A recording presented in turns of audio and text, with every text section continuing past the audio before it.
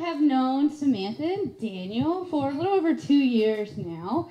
Well, Daniel not as long. Um, Samantha and our relationship started quite interesting. We started as a client and personal trainer kind of thing, and then it just bloomed into sisterhood pretty much.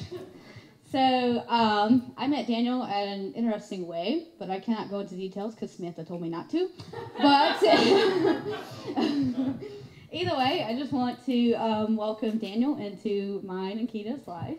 He's basically stepped up and helped raise my kiddo, basically, and welcomed her into his family.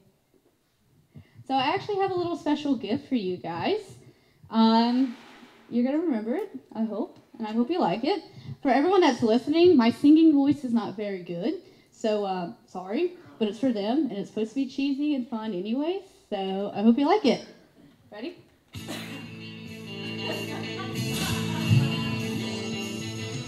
So no one told you life was going to be this way. You started as a client that I used to train.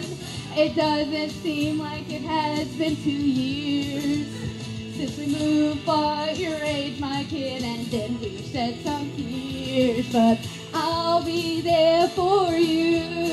cause you're gonna have kids soon. Daniel's here for you, but I was wifey before. We are here for you, so let's celebrate the crew.